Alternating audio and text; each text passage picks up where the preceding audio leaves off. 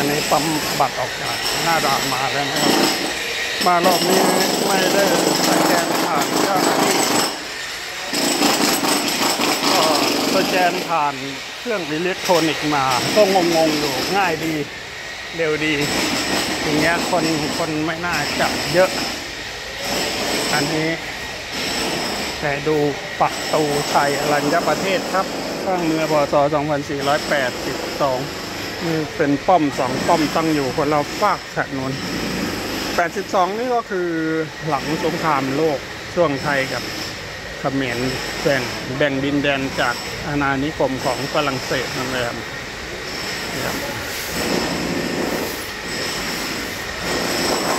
ล่างแกเรียกว่าคือประเทศไทย คุดล่า มีตรงลบคุดเป็นเขตชนแดน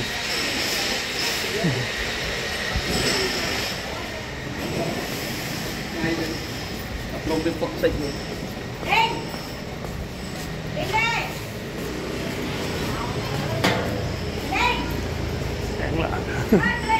อันนี้อยู่ระหว่างขั้นกลาง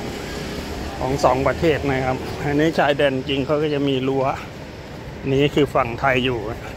ตรงนี้เป็นเขตกันชนแล้วครับคลองเขาใช้คลอง จนถึงทะเลนี่เป็นพรมแดนไทยกับเขมร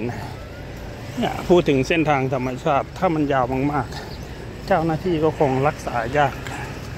รักษาไม่ไหวเหมือนกันแล้วเดี๋ยวผมจะขึ้นไปทางด่านบริพาทของกัมพูชานะครับ กัมพูชาก็ยังใช้เขียนอยู่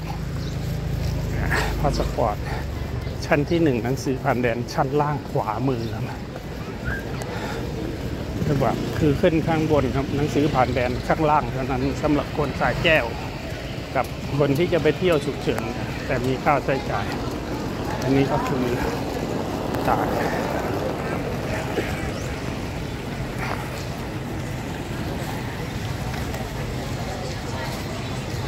ประตูชายแดน